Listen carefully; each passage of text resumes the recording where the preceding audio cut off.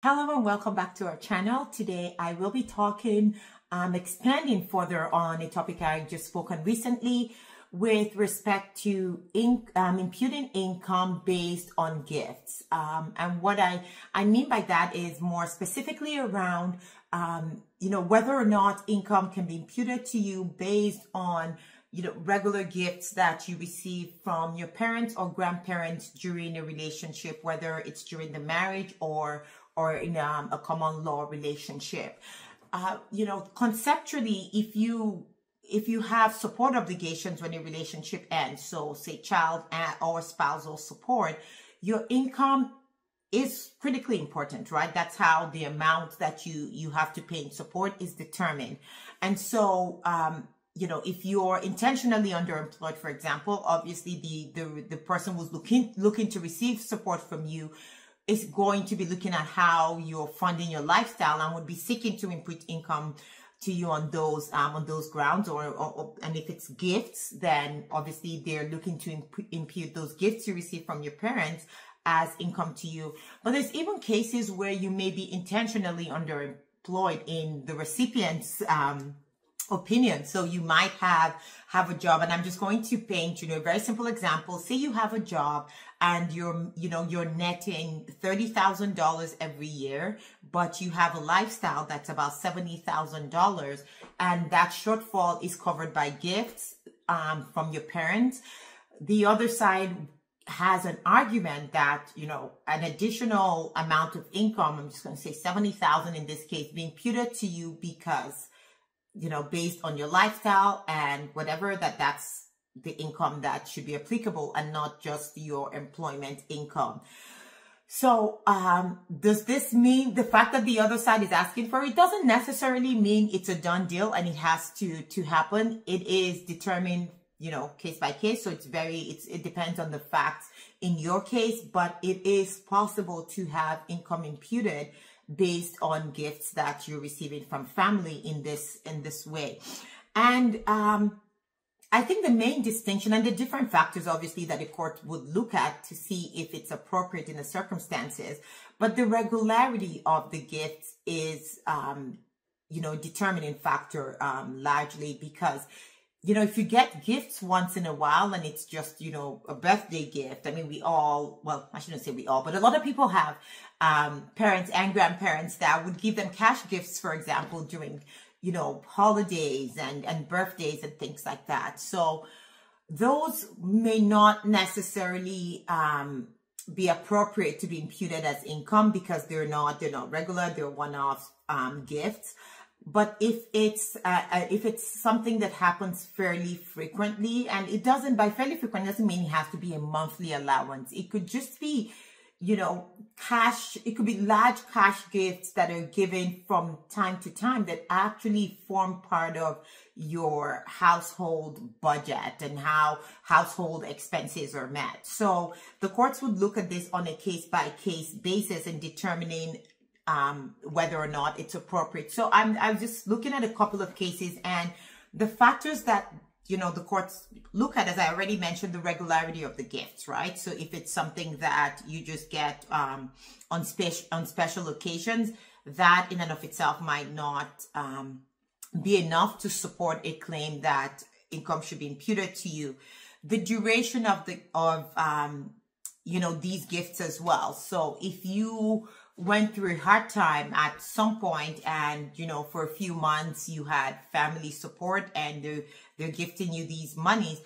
That might not be enough but if you know there's people who have years of having family subsidize their their lifestyle that is likely a case where imputing income might be appropriate then are, are the gifts if the gifts are part of the family's income during the period of cohabitation and sort of what I've been saying, because the longer a person, um, the longer you receive the gifts, the greater the chances are that it's formed part of your family budget and it's now entrenched in your in your lifestyle. Then, I mean, in that case, then you might really be exposing yourself to income being imputed to you because it's now formed um, part of your lifestyle and the circumstances of the gifts that earmark them as exceptional. So you know, if you have a one-time situation can't meet up your bills and a parent gives you that extra bit of money to make things work for you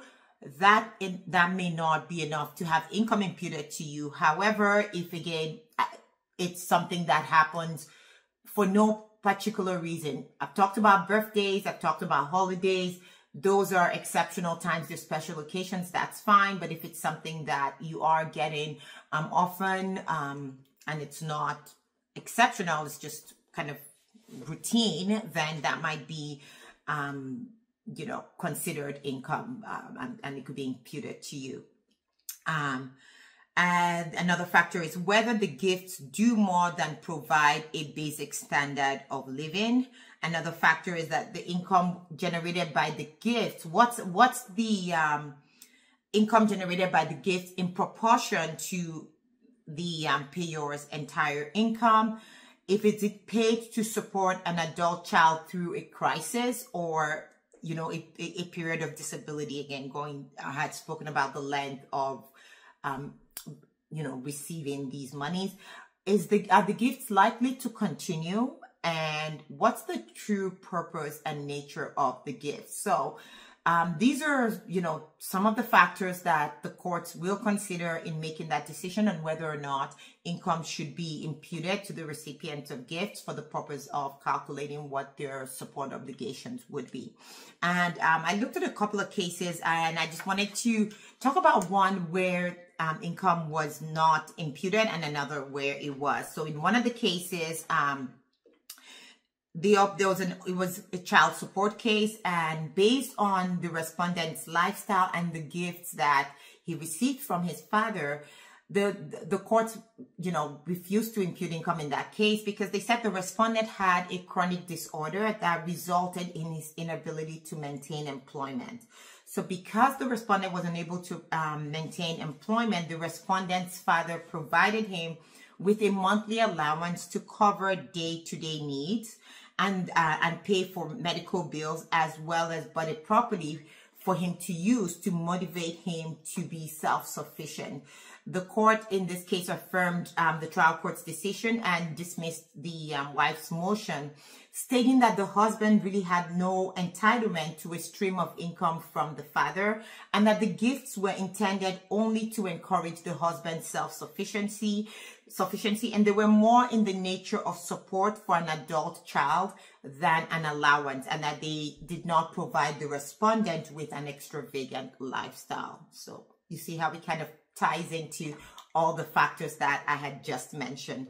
Now, in the other case, um, where the parties were married for 21 years and they had two children, and throughout the marriage, the um, husband had um, the husband's parents assisted the parties financially including helping pay for their matrimonial home.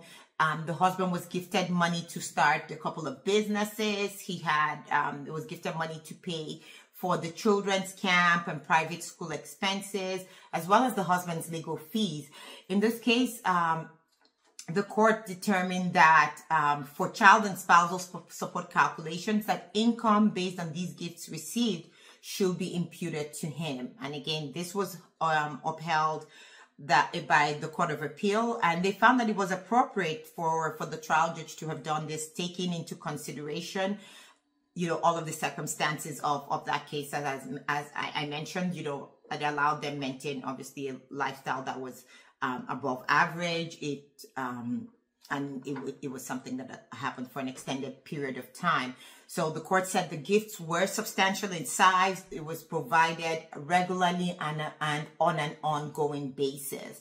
So the court stated that the gifts helped the husband establish a lifestyle well above a basic standard of living for himself and for his family during the marriage. So there you go. You have the factors now. You've seen two cases where these have been applied and the outcome. So the takeaway for you is, you know, courts are likely to impute um, gifts as income if the gifts are significant, if they're provided on a regular basis, and if they have the effect of um, entrenching a lifestyle which is above a basic standard of living. So I hope you found this video helpful. If you did, please like it. Remember to subscribe to our channel so you get notified when we post more um, new and more helpful videos uh, as we go along. Until next time, it's bye for now.